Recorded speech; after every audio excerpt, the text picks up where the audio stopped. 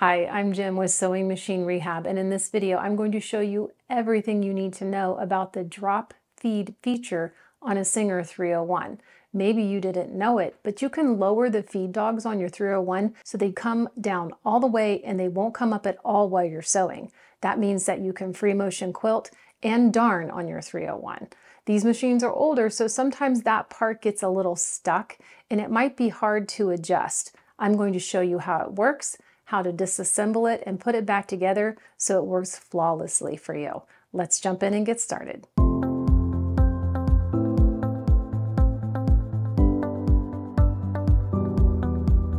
So I'm going to show you how to do this with this 301 that I just finished restoring and it was also painted as you can see. What we want to do is look at the drop feed feature. So let me show you what that is.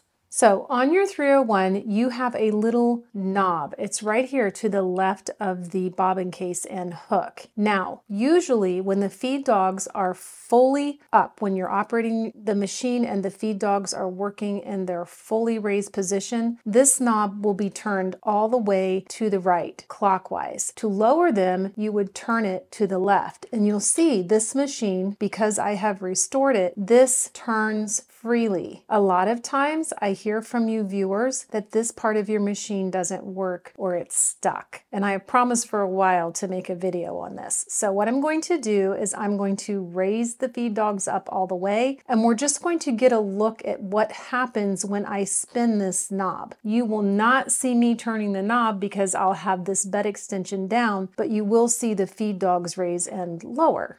So right now the knob is turned all the way to the right as far as it will go. And you can see here the feed dogs are raised. When I turn that knob counterclockwise, do you see how they disappear under the needle plate?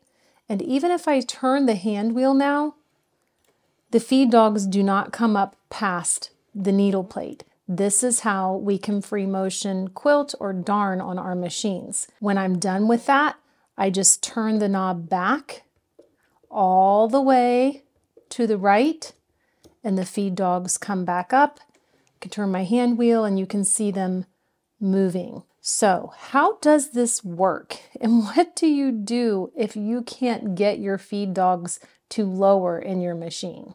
So this is the underbelly of the 301. And in order to work on this part, you are going to want to lay it on its back and take off this bottom cover. So just take it off. Set this aside until we are done. This portion right here is the part of the machine that is dropping the feed dogs when you turn that little knob on the other side over here. If it is stuck, it's really hard to get oil on this. This is a long threaded screw and unfortunately it's not easy to get oil where you need it. So if this is frozen, the first thing that I would recommend trying is this. Here in the nose, this is the part that you're trying to get to turn. This is where a pair of non-marring pliers comes in handy. You can grab that knob and try to twist it with a pair of pliers first. Sometimes that will free it up. If that doesn't work, instead of trying to force it, this is the next thing you would do.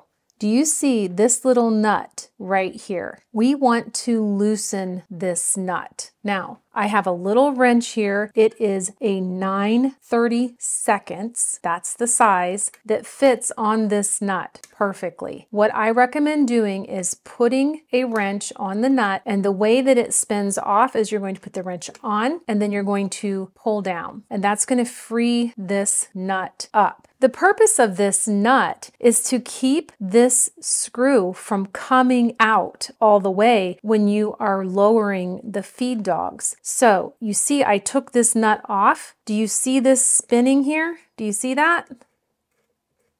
That's how I can take this whole thing apart. So once you remove that nut, try again with your non-marring pliers on the end of that knob and see if you can get it to spin off. And go ahead and take it all the way out. And this is a long screw.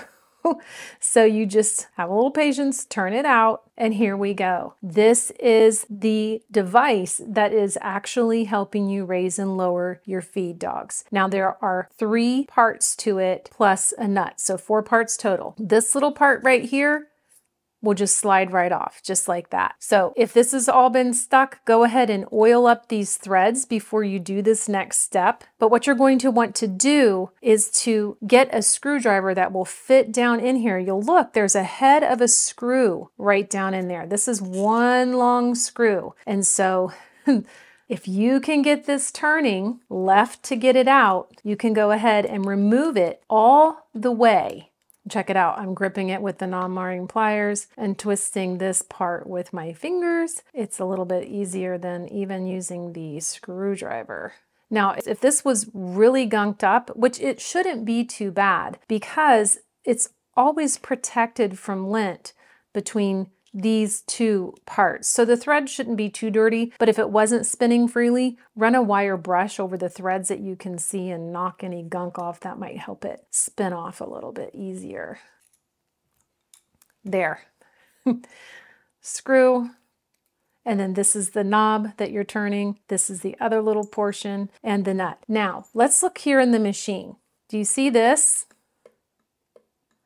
This is what's actually moving to raise and lower your feed dogs when you turn that knob. So what I would do at this point is I would clean off all these parts, wipe them down with oil, clean them in Krud Kutter, whatever you like to do. Just get them clean before you reassemble them. Really paying attention to the screw and cleaning the threads off. There is also a hole right here on the end that the screw's coming out where we took that nut off, clean that hole out, and then clean inside this hole as well where this part nestles in. Now we can put it all back together. Now as we slide this all back together, take note this moves around a little bit. So this screw head's going to need to line up with the hole that's in this part. See, they're two different parts. So you may have to kind of move this back and forth to get everything to line up correctly when you're trying to thread the screw all the way in. But we'll start by screwing this screw back in now you're going to want to get it so it's just recessed inside the end here. Then you're going to take this part here with this little cone shape and you're just going to slide it on like that. Make sure you oiled this too before you went too far. Now what you're going to do is you're going to go through the hole here on this end of the machine and you're going to slide it through the hole and line it up with that screw hole. And once you get it lined up, you should be able to turn the knob and that screw is going to start to catch here. Once you have it caught, like now it's caught, I'm going over to this end here. This is where I was turning to spin it all back together. And I'm going to start using my screwdriver to turn this screw. And I want to have it come out the other side do you see here? It's starting to come out the other side. So I'm gonna keep turning until more of this is exposed. The amount that I want coming out is roughly this. I want to be able to screw the nut back on and I'm going to want to be able to tighten it and I'm going to want about one or two at the most of the threads on the end of the screw on this opposite side of the nut. So this isn't far enough. I'm going to turn it a little bit further. Let's see how that looks. Spin my nut on. There we go. Do you see? There's just a tiny little bit sticking out here on the end, just a very little bit. Now that's exactly the way I want it. I need to tighten this nut down because if I don't tighten it back down, when I turn this knob to raise and lower, it's just going to come all undone. So you're going to use your wrench and you're going to use your screwdriver. Your screwdriver is going to go in the slot on the screw and the end here.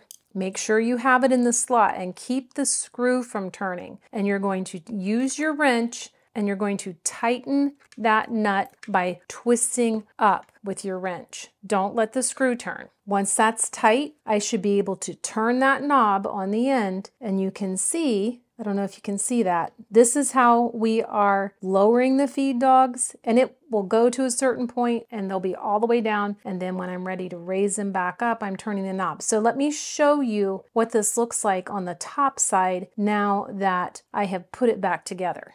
Here we go, feed dogs. They go up and down and the needle plate moving back and forth. Let me bring them all the way up and I'm just gonna turn that knob counterclockwise now and there they go, they've disappeared. I can turn my hand wheel, they don't come up out of the needle plate and then turning the knob back clockwise all the way there they are again. So that is how that drop feed feature works on your machine. And usually it's pretty easy to fix Usually you can get it at least turning to begin with with a pair of non-marring pliers. If you don't have these, regular pliers are fine. Just put a piece of cloth or some thicker material in between your pliers and your little knob right here so you don't scratch this up. But what an awesome feature for a 301. Truly, I think it makes it a nice competitor to the featherweight, absolutely without a doubt.